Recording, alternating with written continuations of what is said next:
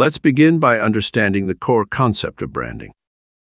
Branding is a distinguishing key between one product from another. To achieve successful branding, companies must convince consumers that their brands possess unique and significant differences. Imagine a brand as a living, breathing entity that communicates with you when you see it on a product. It calls out to you saying, Hey, forget those other products. Come and buy me because I can offer you these fantastic benefits. I'm creative, innovative, and reliable. If you value these qualities, all you need to do is buy me. Buy this product.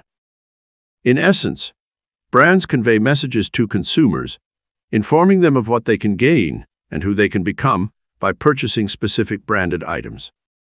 Now let's explore a real-life example. The Apple brand. Apple has become a household name across the globe, synonymous with innovation, sleek design, and user-friendly technology.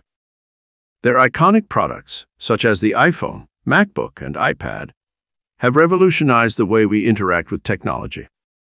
Apple has managed to create a strong brand identity by focusing on innovation, simplicity, and quality. When you think of Apple, you instantly associate their products with cutting-edge technology, minimalistic design, and exceptional customer experiences. This perception is not a coincidence. It's the result of a carefully crafted branding strategy. Over the years, Apple has expanded its product line beyond computers and smartphones to include wearables, home automation, and streaming services. Regardless of the product or service, the company has successfully transferred its brand values and associations to its new offerings.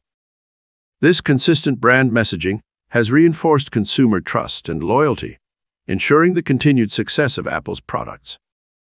As Apple's late co-founder, Steve Jobs, once said, Innovation distinguishes between a leader and a follower. This quote encapsulates the essence of the Apple brand, which has always been at the forefront of technological advancements and consistently pushes the boundaries of what is possible. I hope this example has given you a clearer understanding of the power of branding and its potential impact on a company's success.